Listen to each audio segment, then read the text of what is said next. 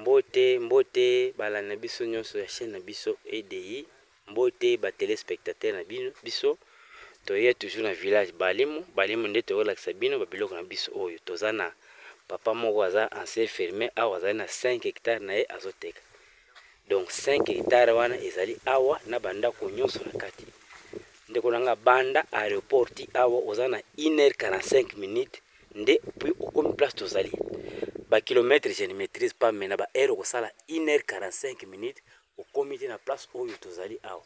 tala deja safu ye oyo aboti basafu oboti ndako mpe ezali awa filme eza na 3 ndako eza soki 3 ndako nyonso ozofilme bandako nyonso oyo ekotikala ya yo donc soki osombi awa obeneficie na bandako nyonso etikali ya yo banda je dis bien banda aéroport ti awa tozosala 1 heure 45 na bataxi nde koyaka mais soki tozala na motuka na biso ya privé tozalaka na 1 heure du temps nde tokomi ti na espace awa to motuka privé tosalaka 1 heure du temps mais tosala 1 heure 45 mpo eza bataxi ozwa kofuta kofuta kofuta ti bamoto nde esala 1 heure 45 mais soki ozala motuka ono ya privé jipe yo moko ozosala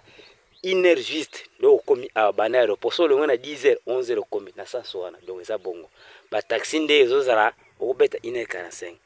zamba eza monene kuna nyonso bozomona kuna eza zamba oyo nazolakisa bino oyo ozoteka bazoteka wana babiloko nyonso bazete nyonso pesa ba valeur eza na kati kati toza na paipai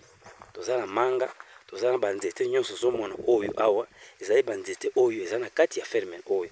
moto akoteka yango akotekelo nyonso okotikala na banzete oyo okotikala na bapaipai okotikala na bandako nyonso ekotikala yo jamais bakolongola ata eloko moko na kati donc ferme aza riche aza na babiloko nyonso banzete alonaki aza na mpe mpe apondo ya kitoko ozomona pondo oyo tobengaka pondo soki ya kongo yango oyo ya banzete ya kitoko toliaka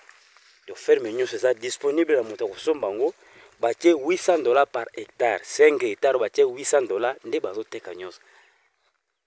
bitabe mpe ezali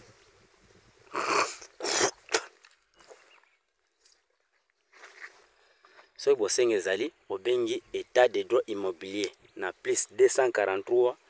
90 34 34 860 tala zamba kitoko yango wana ozomona na banzete ya mbila wana nyonso eza na kati zamba monene nyonso oyo ekotikala ya yo bateki lo otikali ya libela osali babilanga no kosala baprojet na yo nyonso otika na kimia okobenga biso na plus 243 90 34 34 860 agence état de droit immobilier en cycle edi nde akoya na bino awa ferme eza moto azoteka aza na mikanda na ye D'ailleurs ye moko avandaka awa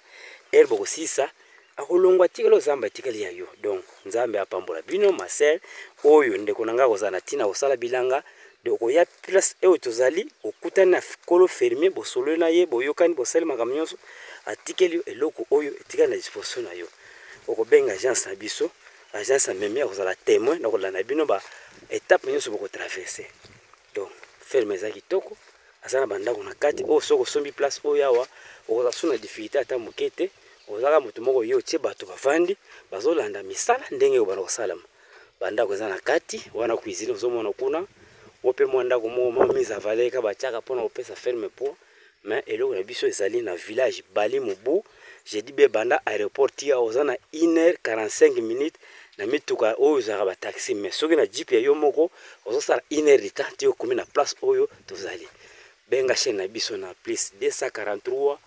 90 34 34 860 nzela eza kitoko nzela eza disponible na engin nyonso ezala keti ezala moto oyo tozobengaka trois pine wana ezala bamoto na biso ya mikuse wana nyonso ekokoma donc place toza na yango ya kitoko na village balimo balimo na bu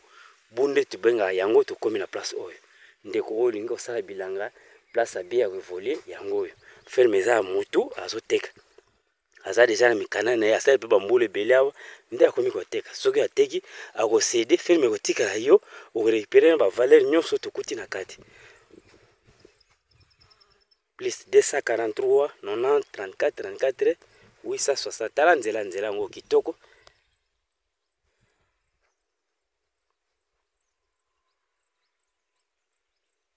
disponible na misala nyonso kobenefise bandako oyo otie batravaye na yo soki oza na tracte na yo ekotila mpe awa alobi 800 dollars par hectare à dicite donc soki oza na posa hectare moko atie yango 800 dollars aza na 5 hectare ezali awa disponible mpona koteka yango nzambe apambola bino bonne chance na bino nyonso Vraiment bosomba bosomba soki oza na besoin explication obenga biso toko solo toko yebisa nionso ba detail ndenge ezalaka merci beaucoup bye.